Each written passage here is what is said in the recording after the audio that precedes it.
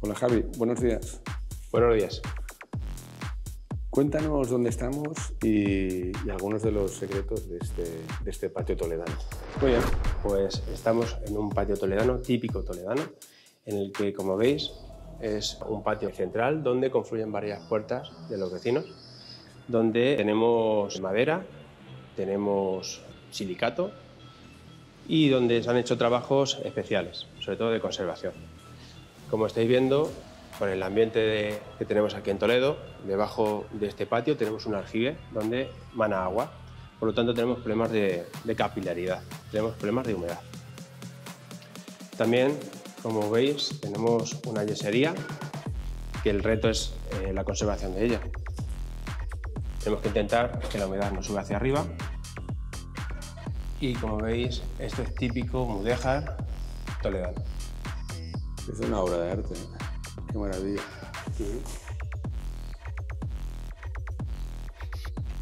Con el problema, como comentas, de la parte de, de capilaridad, ¿no? Esta parte de humedad. Exactamente. Tenemos que consolidar el soporte y luego hacer que respire para que pueda emanar ese agua que tiene y no deteriore el, el soporte. Además, tuvimos que encontrar un color que fuera idóneo con, el entorno, ya que este espacio está protegido. Además, este patio en concreto ha ganado varios premios en los concursos de patios.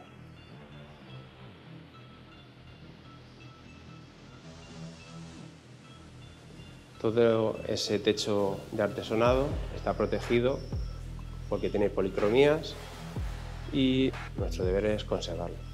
¿Cuál sería el tratamiento ideal para este tipo de, de madera, Javi?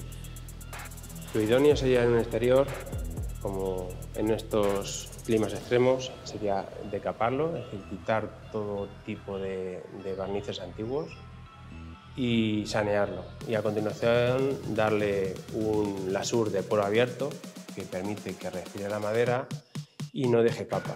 De tal manera que las posibles reparaciones lo único que hay que hacer es abrir un poco el poro y hacer un mantenimiento mucho más fácil y al final envejece muchísimo mejor. Pues gracias Javi por compartir estos conocimientos sobre madera. Cuéntanos un poco más eh, sobre también eh, la, la, las paredes, ¿no? En las paredes, ¿qué, qué, qué, qué producto habéis utilizado y, y, con qué herramienta lo, lo habéis podido aplicar? Bueno, pues en primer lugar tuvimos que limpiar toda la pared, quitar todas las sales que teníamos eh, existentes, luego recuperar lo que es la textura y a continuación aplicar un producto, como decíamos antes, que sea transpirable. En este caso utilizamos un silicato, un sol silicato que, que hace que, que, esa pared respire. Y para eso ¿no? eh, tuvimos que emplear las herramientas que se utilizaban también antiguamente. Como podemos ver, es la paletina canaria, eh, que permite que podamos pintar cargar la pintura necesaria y descargarla de una manera óptima. Además, sus fibras, como estáis viendo, son suaves y permiten hacer un dibujo natural y además para el pintor yo lo valoro mucho porque tiene una, una, ergonomía muy buena para poder pintar, ya que estás trabajando muchas horas y la mano al final sufre.